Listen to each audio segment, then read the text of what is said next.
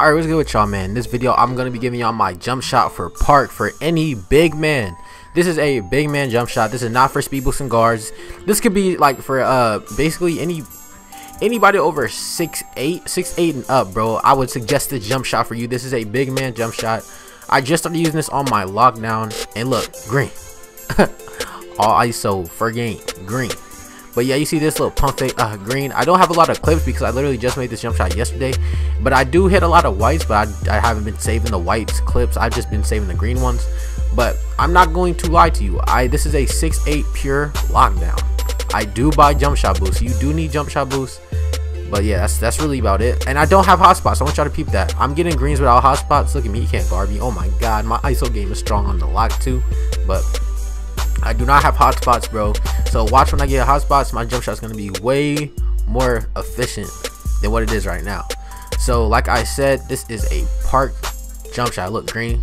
This is not for pro am. I tried to play this in pro am and it was just not working. My pro am jump shot is the same one I use for my uh six six play sharp and my stretch big and everything else, bro. It's my uh, it's my basically my stretch jump shot.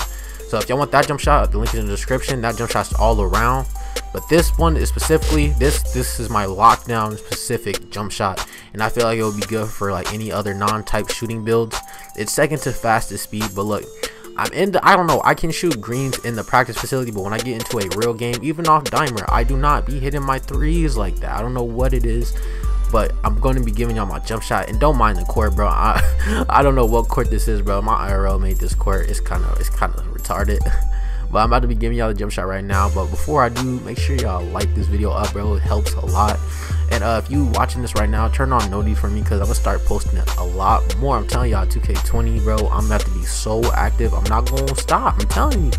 But I'm about to give y'all this little jump shot. I call it comp I don't even know I don't even know why I call it comp bro I just remember I used to use base 9 a lot in 18 when I was like I don't know I took the game a lot serious in the beginning. My, my record was just like fire.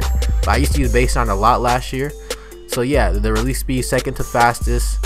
Jump shot 9 is the base, then Lamarcus Aldridge, then Ryan Anderson for release 2.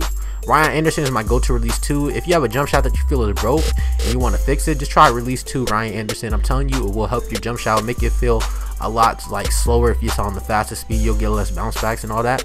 But 60-40 is the blended on that jump shot but yeah that's really i just want to share y'all.